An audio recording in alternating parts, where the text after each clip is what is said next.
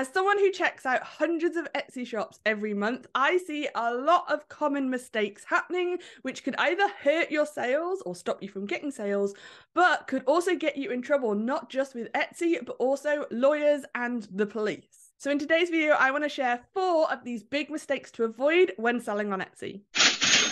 Hey there, Etsy seller. I'm Sam, and welcome to the Squeak and Shout channel. Let's get into these four big mistakes to avoid when you're selling on Etsy. First mistake to avoid is focusing on quantity of listings rather than quality. And this is something that I see so many of the Etsy experts or gurus telling you, more specifically the print on demand ones.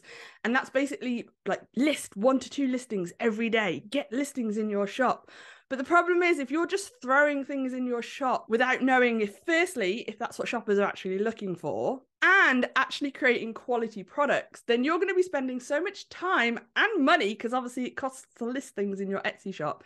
You're going to be spending so much time and money listing things, throwing listings into your Etsy shop that aren't going to actually help you get sales. And the other piece of bad advice I see around this is relist your listings every day. There is no need to do this. It doesn't help you in any way, shape, or form. So save your money and avoid this hack or tactic that people seem to throw out that does nothing for your shop. Instead, spend your time wisely and instead doing product research and product validation. This is where you not only research what is currently selling on Etsy, but you're also researching what shoppers are actually wanting to buy right now, as well as looking for the keywords that they're using to search for them. And by doing this, you can still list, let's say, one to two products a week, but you know that those one to two products that you're going to list are going to sell. So you're therefore not only using your precious time, which you probably don't have a lot of, but you're also going to be saving money because rather than listing 10 products a week, if you list one to two high quality, in demand products,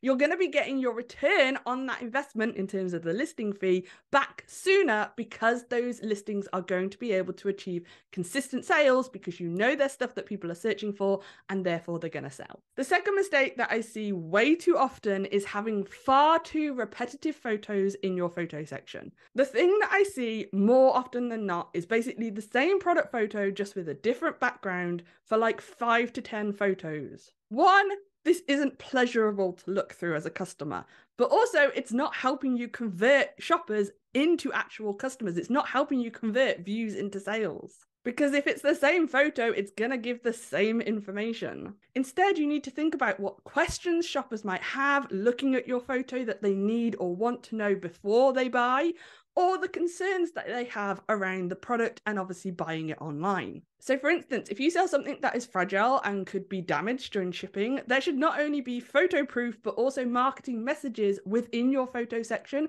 that communicate and show that the item is going to be packaged protectively and therefore it will arrive safely. Now, you might be going, Sam, I already do that. It's in my description. Here's the thing pretty much nobody reads the description. We are in 2023 a visual communication kind of audience. All of us are. You're watching this YouTube video right now. This is visual. Obviously, it's sound as well, and there's text on the screen, but pretty much it is visual. There's me here on the screen feeding you into your eyes the information. Your Etsy shoppers and customers are exactly the same way. And this is where your photo section needs to be your biggest marketing message communication hub. So you might have things like this inside your description, but especially when we talk about 67% of Etsy shoppers using their mobile device, have you looked on the Etsy mobile site or in their app recently, the description is super hard to find for one, and you can't even like tell that it's a link that you need to click on. So even people who know that the description is there, it's not easy to find. And for shoppers who are new to Etsy, or maybe they just don't know that there's a description, they're not going to go looking for it and they're certainly not going to read it.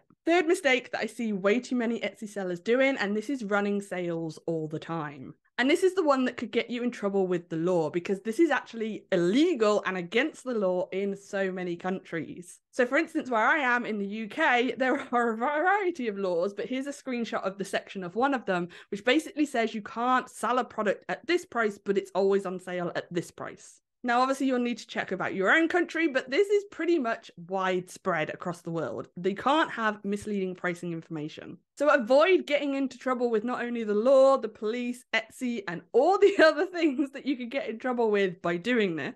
You can't just list a product and keep running sales on it. Sales promotions aren't going to help you get sales if, for instance, you missed out number two, which is actually having a photo section that is going to help convert customers. If you're not doing that, a sale's not going to make someone buy anyway. The fourth mistake that I see way too many, especially new Etsy sellers, doing is spending money on Etsy ads that they either don't have the budget for or that they just can't afford. And there is no quicker way to burn yourself out or basically bankrupt your business because Etsy ads aren't this magical thing that get you sales. They're not the thing that is going to be the difference between you getting sales and not sales. If you're not able to get sales without ads, you certainly aren't going to get sales with ads. So this kind of ties into especially the first two mistakes again. Rather than running ads hoping to get seen by shoppers, you need to think about and make sure that you have done product research and validation to check that what you're adding into your shop is what people are looking for and what they want to buy.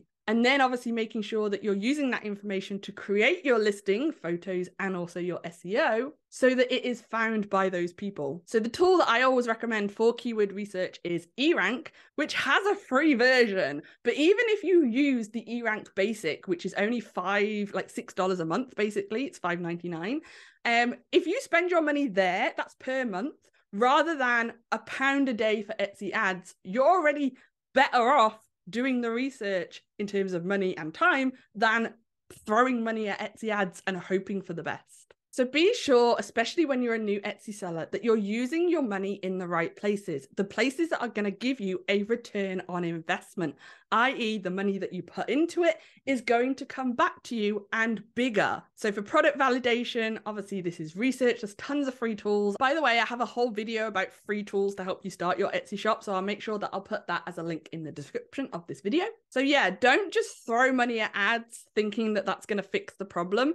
The problem that you have isn't going to be the thing that ads fix. There is going to be a bigger problem in your shops, such as shoppers aren't actually looking to buy your products, or potentially your SEO is wrong, which, by the way, if your SEO is wrong, your ads won't work properly either because the information that's in your listing is what helps your ads perform well. So when your SEO is correct, your ads will work in terms of you will actually see a return on investment. You will be seeing sales for the ad spend that you spend. And then you'll also be getting all the other juicy benefits, such as all the sales that you're getting will improve your listing quality score, which will improve your rank in the Etsy search results, which will help you get sales organically, i.e., you don't need to run all ads all the time because you're getting sales free. So that is the end of this video. Those have been four mistakes I see way too many Etsy sellers doing that you should avoid at all costs. If you found this video helpful, don't forget to hit that like button and subscribe to not miss other videos just like this one. Speaking of which, I recommend checking out this video next, which is all about Etsy SEO. I'll see you over there.